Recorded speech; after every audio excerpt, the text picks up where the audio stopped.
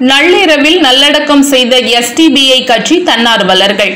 தென்காசி மாவட்டம் சம்பன்குளத்தைச் சார்ந்த அறுபத்தி நான்கு வயது பெண் ஒருவர் தென்காசி அரசு மருத்துவமனையில் சிகிச்சை பலனின்றி உயிரிழந்தார்.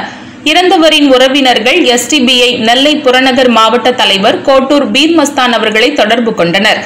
அவர் உடலை பெற்று தனியார் எஸ்டிபிஐ கட்சி ஆம்புலன்ஸ் மூலம் சம்பன்குளம் கொண்டு வந்தனர். இதையடுத்து எஸ்டிபிஐ கட்சி புறநகர் மாவட்ட செயற்குழு உறுப்பினர் பால் மைதீன் தலைமையிலான தன்னார்வ மீட்பு குழுவினர் உடலை நள்ளிரவில் உலக சுகாதார நிறுவனத்தின் வழிகாட்டுதல்களின் அடிப்படையில் முழுமையான பாதுகாப்பு வழிமுறைகளை பின்பற்றி சம்பன்குளம் அடக்க ஸ்தலத்தில் நல்லடக்கம் செய்தனர்.